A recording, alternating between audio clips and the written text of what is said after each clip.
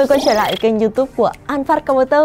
Thì đối với các anh em game thủ thì ngoài việc có một cấu hình xịn là hiệu năng khỏe để có thể cân được mọi tựa game Thì màn hình cũng là một phụ kiện không thể thiếu để có thể đem lại trải nghiệm game mình một cách đã nhất thì với màn hình gaming thì cũng cần hội tụ khá là nhiều yếu tố như là phải là màn hình IPS này, tần số quét cao, có di sinh, tốc độ phản hồi nhanh, vân vân và vân vân. Và quan trọng nữa thì là độ phân giải. Ở đây chúng ta sẽ có là Full HD này, 2K hay là 4K mới là đủ đem lại để trải nghiệm tốt nhất. Đối với cá nhân mình thì à, một mẫu màn hình khoảng 27 inch là vừa không to quá, cũng không bé quá, vừa phải vừa với tầm nhìn. Và mới ra mắt gần đây thì MSI một hãng đã quá nổi tiếng với các sản phẩm gaming, mới cho ra mắt một mẫu màn hình đáp ứng đủ mọi yếu tố cần thiết của một game thủ mà mức giá chỉ nhỉnh hơn 10 triệu đồng, với tên gọi là MSI Optic G27 3QF đầu tiên thì à, nói về phần thiết kế trước nhá, thì đây sẽ là một mẫu thiết kế khá là cơ bản với bốn viền màn hình mỏng. Cạnh dưới thì sẽ có logo của MSI toàn bộ màn hình thì được phủ một lớp sơn lì màu đen với một vài điểm nhấn thì sẽ ở hết phần đằng sau của máy.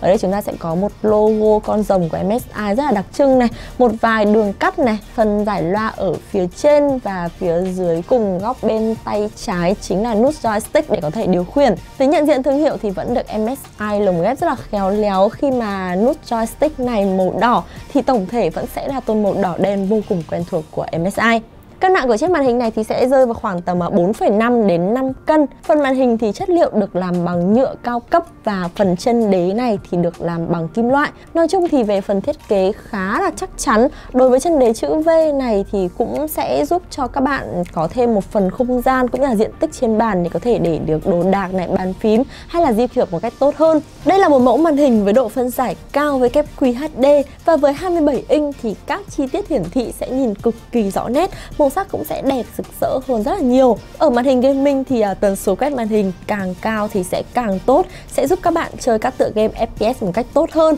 Và mẫu màn hình này thì sở hữu lên đến là 160 Hz sẽ đáp ứng được hết tất cả mọi tựa game hiện nay. Và thực tế thì để đạt được đến số khung hình này thì bạn cũng sẽ cần một chiếc VGA cực kỳ khỏe cỡ tầm khoảng RTX 3070 trở lên. Và đừng quên thì uh, lựa chọn mua cùng một chiếc card của Nvidia để có thể đồng bộ hóa với tính năng là di sinh ở trên chiếc màn hình này. Thì đây cũng sẽ là một công nghệ có sẵn và vi xử lý Nvidia sẽ giúp hài hòa số khung hình màn hình với chỉ số FPS trong game sẽ giảm tình trạng nhiễu hay là giật hình khi các bạn chơi game nhé. Tích hợp thêm công nghệ đó chính là chống nháy hình và lọc ánh sáng xanh thì cho dù các bạn có nhìn màn hình trong một thời gian dài thì cũng sẽ hạn chế tối đa tình trạng mỏi mắt hay là đau đầu. Tiếp theo thì ờ, như là khi các bạn chơi game kiểu bắn PUBG hay là chơi các tựa game bắn súng, thì góc nhìn sẽ trở nên là một yếu tố sống còn trên chiến trường. Thì đôi khi các bạn sẽ cần đổi tư thế này cũng như là xác định mục tiêu từ xa thì mới một góc nhìn rộng lên đến là 178 độ cũng là một lợi thế vô cùng lớn cho game thủ sử dụng chiếc màn hình này. Thêm vào đó thì tầm lên IPS cùng với thời gian đáp ứng rất là nhanh, chỉ là một ms G2G sẽ giảm tối đa hiện tượng bóng mờ,